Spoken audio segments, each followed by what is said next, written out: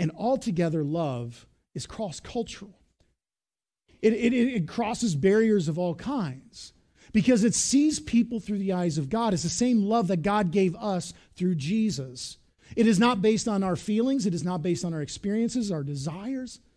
But most of the time, we have a difficulty understanding love and receiving love and giving love because it's all based on what we want to get out of it.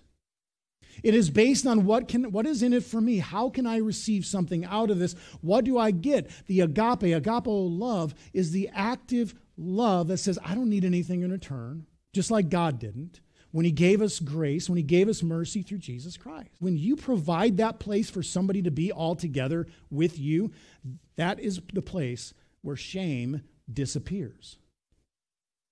When shame can disappear, people can be themselves.